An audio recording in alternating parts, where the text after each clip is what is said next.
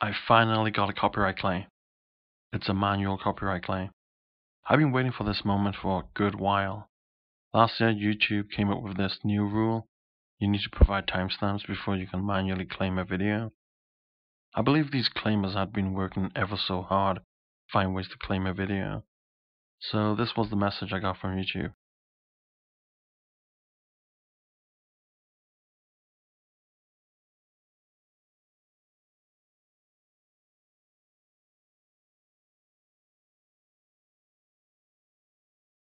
They even include a timestamp of which area is infringing their copyright.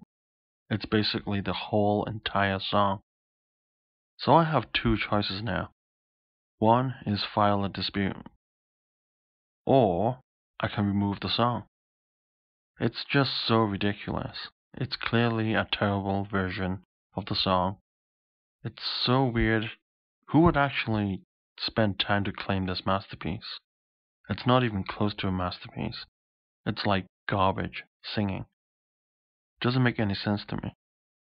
I'm not going to dispute the video this time. I had many bad experiences. At the moment, it says sharing revenue. So, I'm going to choose to remove that song and see what happens. I'm just going to replace it with one of my personal favorites, just to see will the claim be removed. It's going to take a while. I'll be back shortly.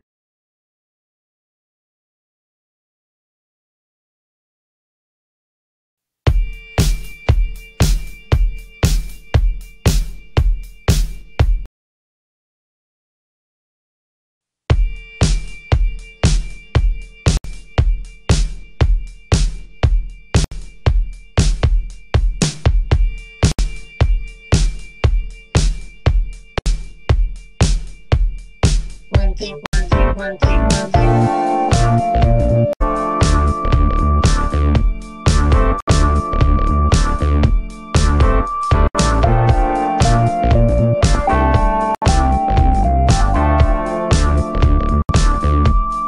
And check it out. The claim is gone. I'm not going to waste my time and dispute videos anymore. It just seems pointless. So here's my future plan. If I get hit by a manual claim, I'm just going to replace it with the Great Whyte.